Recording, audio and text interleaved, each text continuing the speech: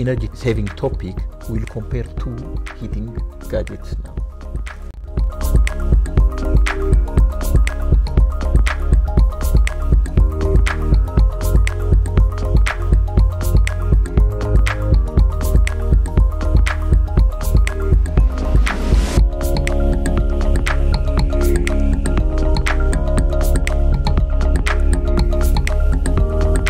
Okay, Emmanuel.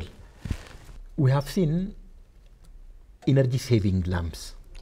But lamps are not the only gadgets that are used at home. We are using heating gadgets to cook food, to boil water, and the likes. So, uh, in line with the energy saving topic, we'll compare two heating gadgets now. Look at this one. This is immersion heater. Its power rating is 500 watts when it's connected to 220 volt line. This one is the ordinary stove. It is 1000 watt when it's connected to 220 volts line. Yeah. Now, in order to determine the energy efficiency of these two to compare, we will boil the same amount of water and measure the time required to boil that same volume of water by the two. That will help us to compare the energy efficiency of the two devices. You know, the concept is we are asking these two gadgets to do the same work and measure the time required by each. Yeah. Then determine which one is more energy efficient. So I will start by measuring the volume of the water to be boiled. Look, this smaller container holds 330 ml of water. This, this is empty. So look at this. I will put it here. Now we will measure the time required by this oven to boil this water from room temperature. Yeah. When I put this one on the stove, you will start the timer. Now, start. Fine.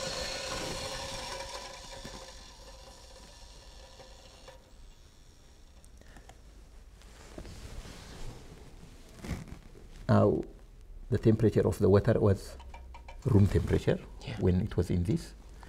Now it is raised by a certain amount when heat is supplied from the bottom. Yeah. As time passes, the temperature of the water increases and increases and increases. Yeah. When it reaches to the boiling point, what will happen? The water will start evaporating. Yeah, it's not evaporation, it's boiling.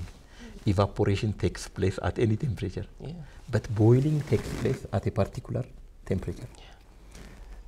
Now, the water is absorbing heat energy from the oven.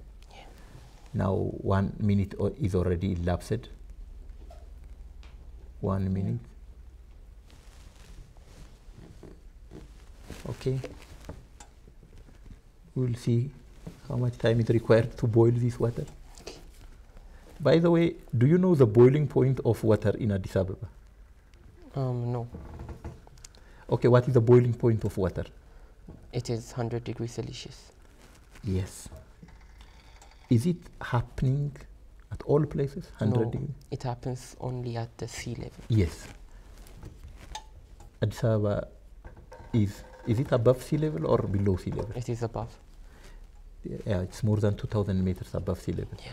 So we expect water to boil below or above 100 degrees. Below 100. Below 100, yeah.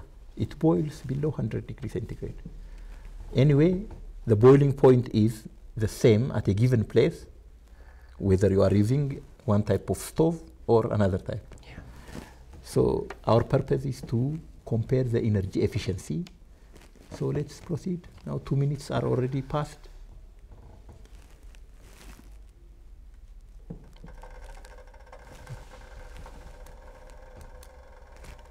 Do you know pressure cooker? Yeah. What kind of cooker is that? Um, it uses immense heat and pressure to cook meat and other stuff. What happens in pressure cooker? It is sealed. Yeah. It's airtight, right? Yeah. So when heat is supplied from the bottom, what will happen to the pressure inside? It will increase. It will increase. Therefore, look, if pressure increases, what will happen to boil, boiling point? Uh, the boiling point increases. Yes. At sea level, there is very high pressure. The boiling point is 100. Yeah. If you increase the pressure of a boiling water more than the atmospheric pressure, what will happen? The boiling point of water increases. It will be more than 100. Yeah. So people are using pressure cooker to raise the pressure inside more than the atmospheric pressure so that the water boils at 110, at 120, at 130 degrees centigrade. In that case, the boiling will happen faster because it takes place under strong pressure. Yeah. Therefore, pressure cooker is one form of energy saving mechanism. You can do it in a shorter time with, with high pressure. Yeah. For example, if you want to cook meat, in open kettles, it may take longer time. But in a pressure cooker, you will need shorter time so that you save energy. Yeah. So what can you say? Pressure cooker is one mechanism to, Energy saving. to save energy. Uh, be it um, um, a coal or a charcoal, be it electricity, you use it to boil water. Yeah. If you are boiling it in a shorter time, you are saving the amount of energy required to boil. So now our water is about to boil. Bubbles are coming out, you can see. Yeah. Water bubbles are coming. So when it runs, we will say it requires this amount of time to Boil the water. boil the water.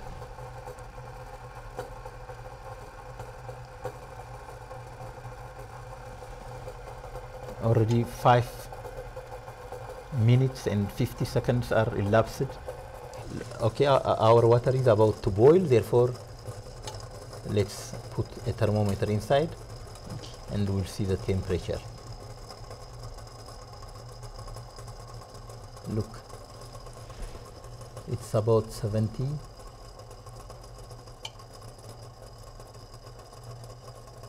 now it's about 80 degrees you can see can you see the temperature? Yeah.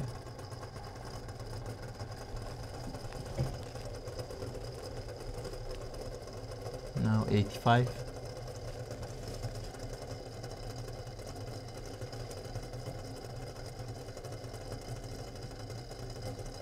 89 90 91 now it's boiling. Stop it. Yeah 92 look Emmanuel the temperature is 92 degrees. Yeah. it can't go beyond 92 if you keep on boiling it it can't go beyond 92 therefore at this place water boils at 92 degrees centigrade. The time it requires is 9 minutes 25.38 seconds. Now if we keep on this is very interesting. Yeah. if you keep on heating the temp- there will be no temperature rise. Therefore water boils at 92 here. Okay very good. Now that's all about our oven. We are keeping on supplying energy, Yeah. But it's not increasing the temperature of the water. Yeah. Where does that supply of energy go? Um, that energy keeps on heating the kettle, Yes. and some of the energy is going to be changed. It, it, it's going to change it. It's going to change the water from liquid state to vapor state. Yes. That is the reason why steam contains more heat energy than a boiling water. Okay, that's good. Now next, the next thing is to do the same work by using immersion heater, this one. Okay, now it is the turn of the 500 watt immersion heater, right? Yeah. 500 watt immersion heater. So we will do the same thing. We'll take the same amount of water. The amount of water is determined by its volume. Earlier we used this one, right? Yeah. So 330 ml water is used. I will pour it into the kettle. So as you have seen, the kettle is cooled to room temperature Yeah. from uh, when the boiling point uh, water is removed, right? Yeah. Now I will immerse this one into water because this kind of heaters should always be put on while in water and put off while in water. That is the safety procedure, right? Yeah. Now when I plug this, you will put the timer on. Okay. Plug it. Correct.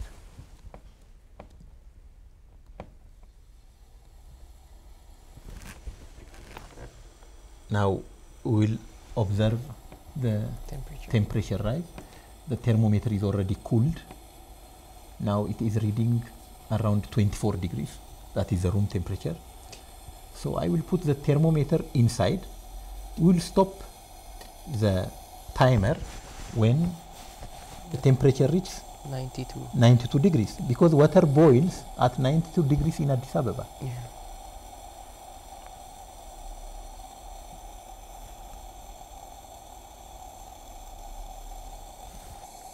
Now, one minute, the temperature is about 29. Which one will take longer time? Can you guess? This one or the previous one? From what we have seen, I think it this one. This one will take longer time. No, that one will take longer time.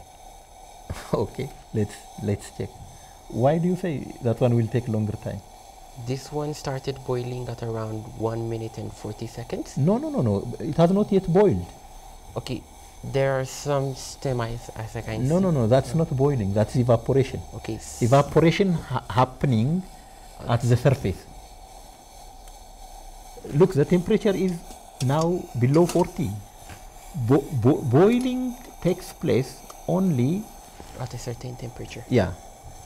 This is, you know, the immersion heater has surface contact at the surface. Yeah. There you can see this, but boiling in the body of the water has not yet happened. And the temperature is only 45 yet. We will say the water boils only when It reaches 9. it reaches 92 degrees. Now it's 50. Will you change your uh, judgment or which one will take longer? That one or this one? That one. The That one will take longer. Okay, let's see.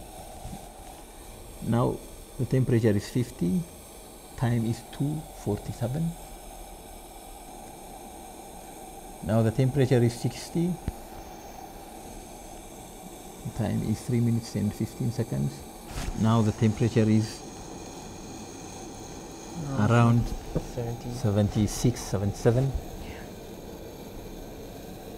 We are we are keeping on supplying heat. Yeah. The temperature is being raised. What was that time? Nine minutes. Yeah, 90 minutes and 25 seconds. Okay.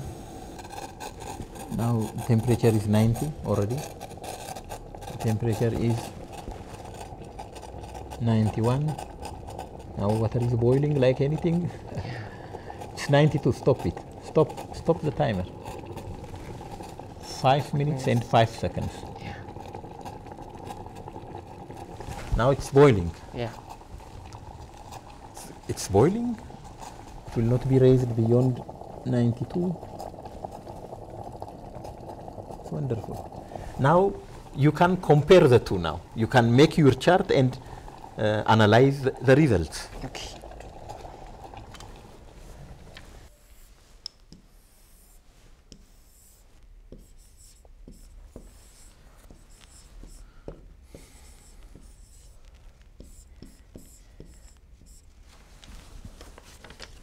ኦኬ ወርክ አውትፑት የሚለው ላይ ቦይሊንግ 300 ኤምኤል ዋተር ፍሮም ቦይሊንግ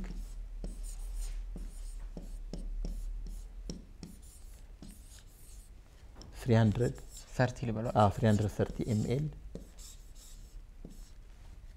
of ዋተር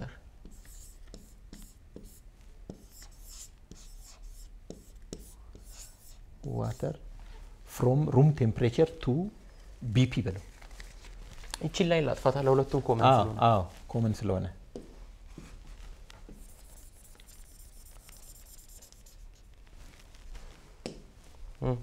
ኮመን ኤምኤል ዋተር ፍሮም ሩም ቴምፕሬቸር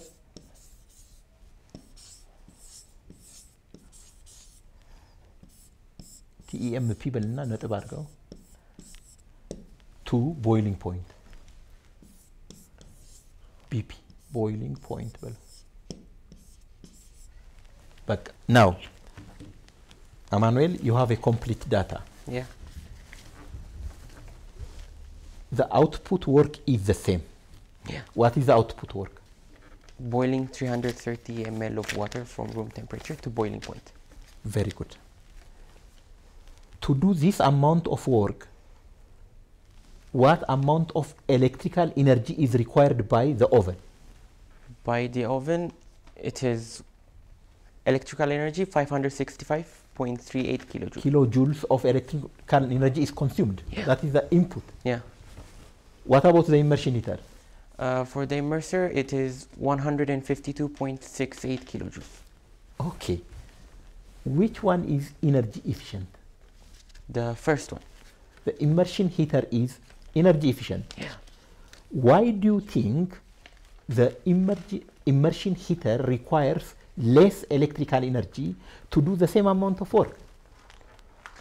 Um, because it uses less amount of input energy to do to to boil something in a in a small time. Yes. It did the same work as the oven, Yeah. but in a shorter time Yeah. and consuming less electrical energy. Yeah. Why is that so? What makes this one more energy efficient? Um, because we immerse the immerser in the water fully, and the whole heat is divided into the water.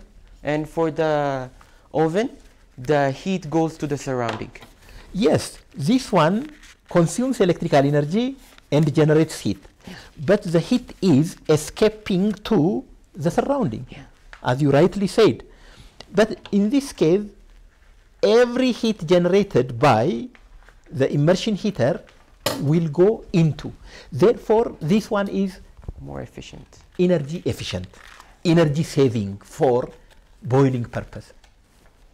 So you, you might have um, a knowledge of this Lakech uh, in Ethiopia, a special kind of uh, charcoal uh, oven, you know, the heat loss to the environment is minimized by a closed oven. Yeah. Therefore, we have to be energy conscious whenever you, we are doing some work. We can do the same work with less energy when we use energy efficient devices.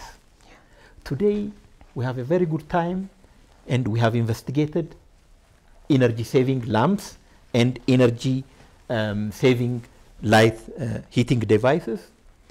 Next time we'll meet on another topic. Have a nice weekend, Emmanuel. Okay, thank you. Have a Thank nice you very weekend. much. Bye. Bye.